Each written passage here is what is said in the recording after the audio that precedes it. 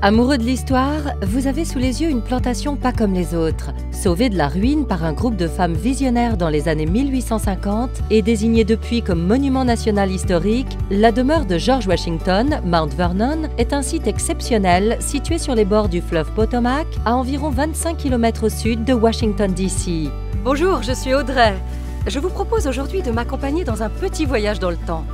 Oui, c'est exactement ce que je ressens ici en foulant les terres de George Washington. Vous savez, premier président du pays, le père de l'Amérique, et dont l'effigie est représentée sur le billet de 1 dollar.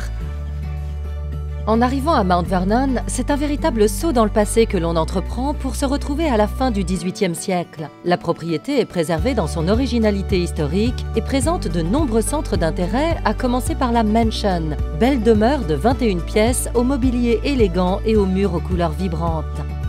Un petit arrêt s'impose sur les fauteuils de la piazza. Ici, je peux apprécier cette façade à colonnes, admirer la vue du fleuve et m'imprégner de la beauté et de la sérénité du lieu. Les quatre jardins séparés qui entourent la maison, conçus par George Washington lui-même, couvrent plus de 2 hectares et ils avaient plusieurs fonctions pour la plus grande satisfaction des yeux et du palais, production de fruits et légumes, parterres floraux, etc.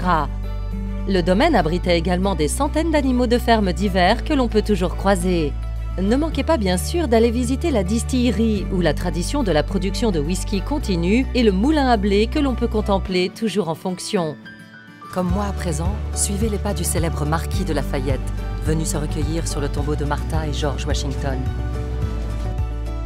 Ce n'était pas la première fois que Lafayette venait ici. Les deux hommes avaient en effet développé une si belle relation pendant la Révolution américaine, durant laquelle Lafayette se battit aux côtés des Américains pour l'indépendance, que Lafayette lui avait envoyé l'une des clés de la prison de la Bastille comme symbole de la fin de la tyrannie pendant la Révolution française. Cette clé est d'ailleurs exposée à la résidence.